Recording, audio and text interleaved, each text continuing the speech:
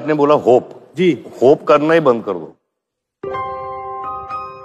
तो ये मैंने जेल में सीखा है बहुत मुश्किल चीज़ है कि यार आई होप के मेरे को बेल हो जाए होप के कुछ अच्छा होप तो किसी ने मुझे जेल में बोला कि होप करना तू बंद कर देगा ना तेरा जेल ऐसे निकल जाएगा ऐसा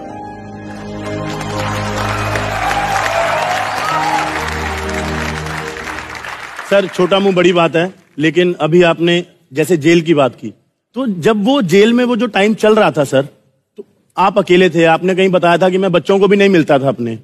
तो उस टाइम पे क्या करते थे अंदर? कैसे संभालते थे अपने आप को? एक मेरा दोस्त था साथ में तो वहाँ हम लोग पेपर बैग्स बनाते थे। न्यूज़ पेपर बैग मुझे एक बैग के बीस पैसे मिलते थे।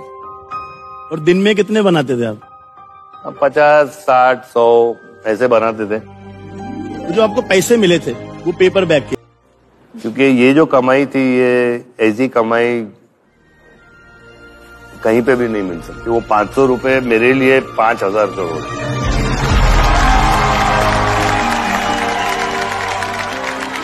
लेकिन गार्डनिंग मैंने बहुत की वहाँ। वहाँ अगर तुम बैठे रहोगे कि मेरे साथ क्यों हुआ और ये क्या हो गया और ये सब क्यों हुआ वो सब भूल जाने का भी हो गया। है। उसको पॉजिटिव बनाओ। जी। जेल भी पॉजिटिव बनाइए आप। क्यों क्योंकि उससे सीखिए। अभी जो चीज़ें आपके पास टाइम नहीं मिली जैसे मेरे पास बाहर टाइम नहीं मिलता था। मैंने रामायण पढ़ ली महाभारत पढ़ ली गणेश पुराण पढ़ ली शिव पुराण पढ़ ली मैंने सब अपने शास्त्र में जितने भी किताबें सब पढ़ ली। क्या बात है।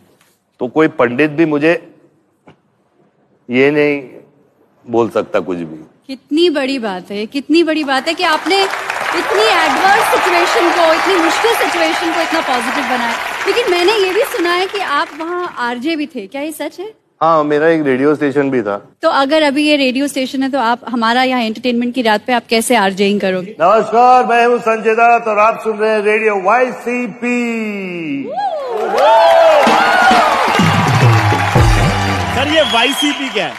Yerwada central prison Sanjay ji jail में जो आपकी दोस्ती बनी थी क्या अगर वहाँ से कोई आपसे फिर से मिलना चाहे तो आप मिलोगे? हंड्रेड परसेंट मिलूँगा। काफ़ी ऐसे लोग हैं जिन्होंने मेरी बहुत मदद की। काफ़ी ऐसे लोग हैं जो मेरे लिए उन्होंने इतना किया जो मैं कभी ज़िंदगी में भूल नहीं सकता। बाबा जैसे आपने अभी बताया कि आपको अंदर बहुत सारे लोगों ने सपोर्ट किया लेकिन आपको बाहर भी बहुत लोगों ने सपोर्ट किया। जी जी बिल्कुल बाहर भी आपके बहुत फ़ैन थे और एक फ़ोटो है हमारे पास अगर आप बोलें तो मैं आपको दिखाना चाहते हैं। जी चलाइए।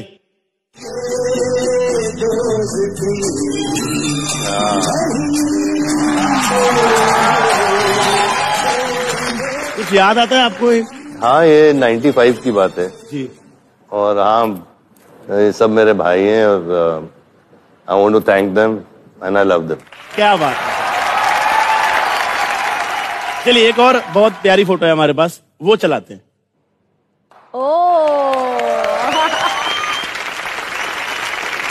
ये टैटू में क्या लिखा है? फिर नरगिस और सुनील लिख। Papa mummy.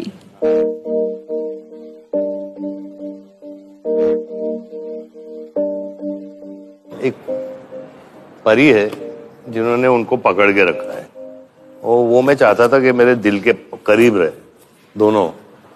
तो इसीलिए मैंने ये बनाया। सो स्वीट क्या बात है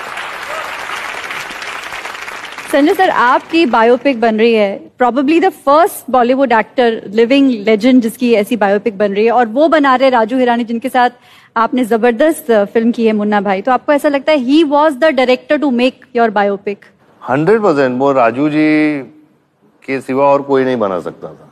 लेकिन ये आइडिया कैसे आया कि बायोपिक बननी चाहिए? आपका ये था उनका आइडिया था?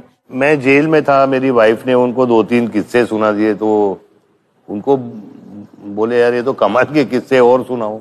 हमें भी सुनाओ सर। लेकिन ये पिक्चर ऐसी बात नहीं है कि संजय दत्त को ये दिखाना कि बहुत ग्रेट आदमी है। ये बिल्कुल जो संजय दत्त के साथ हुआ है वही है। जो भी मेरी गलतियाँ हैं हैं जो हर इंसान करता है और मैं गलतियों को कबूल करता हूँ। मैं बोलता हूँ हाँ ये मेरी गलती हो गई थी। मैंने उसकी सजा मैंने काट के आया हूँ। Thank you. Thank you.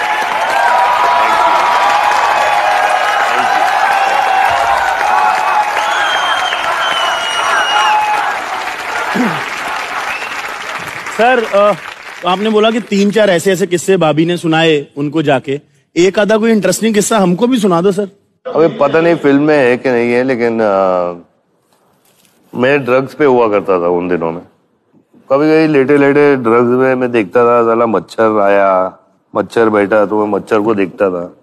तो वो काटता था और पंख हिलाता था, लेकिन उड़ता नहीं था। वो उल्टा होके मर जाता था। तो मतलब मेरे खून में कितने ड्रग्स होंगे कि वो मच्छर मतलब उड़ ही नहीं पाता था यार, इतने नशे में। हम, मुझे कभी कभी हँसी भी आती है यार।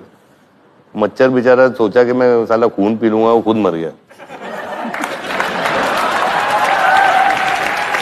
Please please please stay away from drugs जो काम में या ज़िंदगी में या फैमिली में नशा है वैसा नशा आपको कहीं पे नहीं मिल सकता। So my request to all the youngsters is so please stay away so well sir jail के अंदर अभी जब रमज़ान होते हैं जी। तो मुसलमानों को गरम गरम चाय दी जाती है सुबह चार बजे शहरी के लिए और नाश्ता मिलता है। जी। तो वही मुसलमान भाई अपने हिंदू भाई को उठा के वही गर्म बोलता है भाई गरम चाय मिली है पिएगा क्या? हाउ नाइस हाउ लवली क्या बात है सर।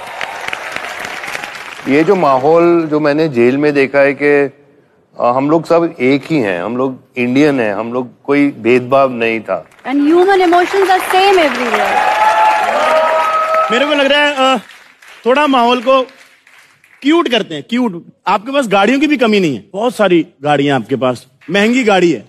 उस गाड़ी में सारे फीचर्स होते हैं। इंजीनियर्स ने अच्छे से गाड़ी बनाई होती है। फिर भी आप उसके आगे नींबू मिर्ची टांग देते हैं। क्यों?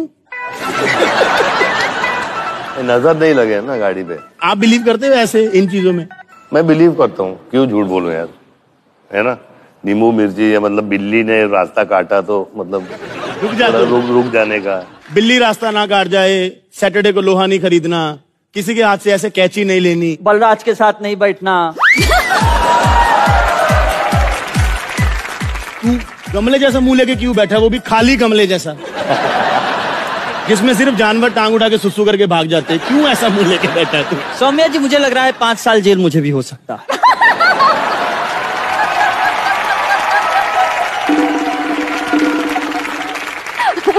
बॉडी देखो अपनी ध्यान से जरा। नहीं तो बंदूक बॉडी नहीं देखती ना।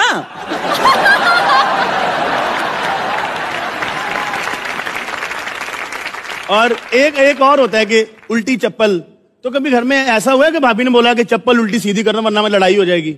हाँ बोला है उसने तो करते हो आप सीधी? करना पड़ता है नहीं तो वो चप्पल मुझे पड़ देंगे ना। यार